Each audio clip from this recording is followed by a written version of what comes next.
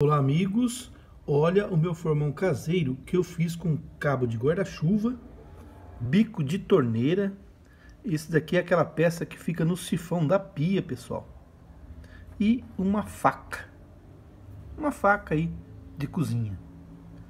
Uma ferramenta feita totalmente com materiais que iriam ao lixo a custo zero. Daquele jeitão do nosso canal. Uma ferramenta que pode ser usada é, na sua bancada com muita facilidade de ser feita, tá? Não tem segredo nenhum aqui, nós colamos a faca com uma cola tipo epox, tá, pessoal? Então ficou uma ferramenta excelente, ela afia muito bem, que é um material de, de faca, né, que já é próprio para fazer afiação. E uma ferramenta aí bem fácil de fazer, para você ter aí na sua bancada. É isso aí, amigos. Até o próximo vídeo.